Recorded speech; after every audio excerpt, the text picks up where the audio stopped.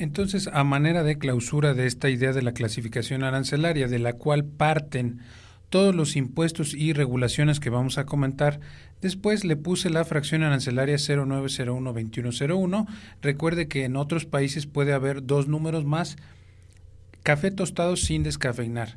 Los primeros dos números se llaman capítulo y tenemos 98 capítulos dentro de eh, la, el sistema armonizado tenemos la partida, que son cuatro. Tenemos seis números la subpartida. Eh, en el caso de los seis primeros números son iguales internacionalmente. Sin embargo, fíjese que hay muchos productos locales o productos que por su complejidad o porque solo se encuentran en algún país como especies animales o algún otro tipo de especies vegetales, Inclusive ahora con toda esta cuestión automotriz también puede ser que haya una cantidad de partes que no se conocen, productos, etcétera. Los primeros seis son internacionales y los primeros ocho son componen la fracción arancelaria. En la fracción arancelaria ya permite abrir espacio para clasificar otro tipo de productos. Así es que con esto ya tenemos una, una idea y le pido que haga eh, en un momento más le voy a pedir que haga su ejercicio.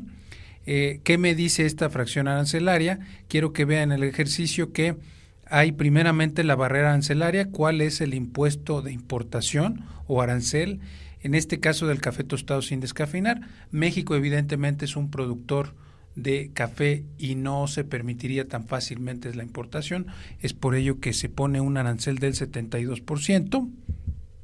Y también, como lo vio usted en el video anterior práctico, hay una serie de regulaciones y restricciones no arancelarias, las cuales se podrían resumir en, un en documentos básicos. Aquí nos piden un certificado fitosanitario que vamos a comentar más adelante. Fito es planta, tiene que ver con certificados de sanidad vegetal. Una norma oficial mexicana, el cumplimiento de la norma oficial mexicana.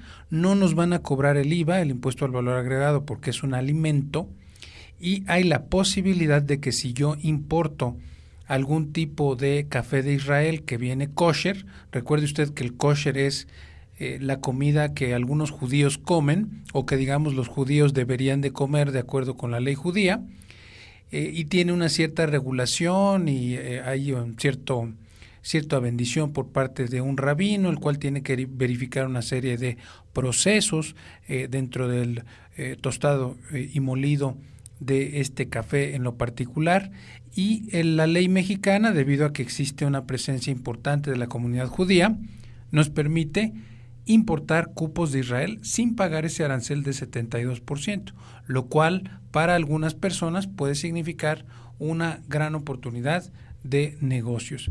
Ahora sí, vamos al ejercicio número 5. Le voy a pedir que clasifique su mercancía de acuerdo con las normas de su país para importación por favor, le suplico que revise muy bien sus barreras arancelarias y sus regulaciones y restricciones no arancelarias, lo cual nos permitirá continuar dentro de este curso. Una vez que haya usted terminado, le voy a explicar qué es lo que va a pasar cuando esté importada la mercancía o cuando esté en el proceso de importar la mercancía. Decíamos hace un momento, en el video pasado, que existen tres procesos dentro de el despacho aduanero.